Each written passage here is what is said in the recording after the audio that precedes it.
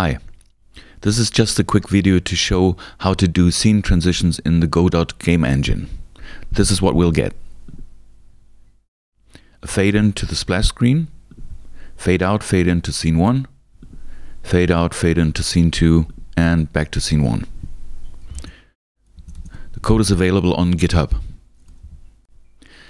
This whole thing works because we have a global scene with a canvas layer and a color rect with the color set to black and an animation player which is connected to the color and which um, animates the alpha channel of the color rect and that does the fade in fade out.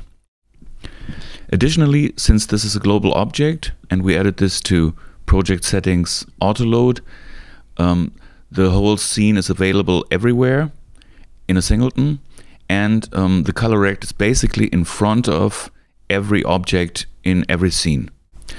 All three scenes have only a label and a button and the button is connected to a script and this script does nothing else but um, calling a global function called go to goToScene with the name of the scene that is about to be loaded. The signal uh, on animation finished is connected to the global script and the um, global script also has two global variables, following scene and current scene, both empty.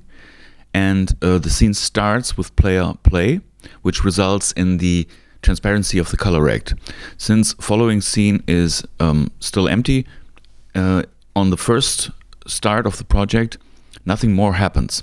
But once we press the um, button on one of these scenes, a goToScene is called with the next scene to be loaded. Since goToScene stores following scene and plays the animation backwards, uh, it goes back to the color black. And since following scene is not empty anymore, deferred goToScene is called with the path of the scene to be loaded, resulting in the current scene to be freed and um, the uh, next scene to be called and the player is played again. It's important to notice that if we just drop in the color rect with the black color and we start the project, then the mouse button doesn't seem to work. This is because the uh, color rect is in front of the button and uh, hinders the uh, mouse click to be uh, going to the um, button. And to change that, we have a flag called um, mouse filter and we have to set this to ignore. And once we do that, um, the color rect ignores the mouse and makes the button work again.